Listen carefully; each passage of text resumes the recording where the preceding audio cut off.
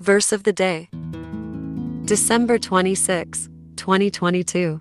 There are many devices in a man's heart. Nevertheless, the counsel of the Lord that shall stand. Proverbs chapter 19, verse 21.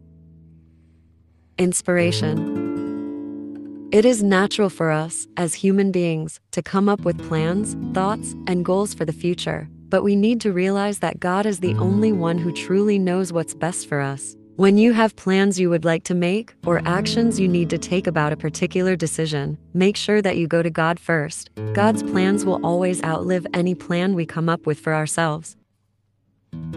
Let us pray. Dear God, I commit all my plans, dreams, and aspirations into your hands. These are only products of my thoughts. What I truly want is what you want for me, because I know that that is what will truly be best for me. In Jesus' name, I pray. Amen.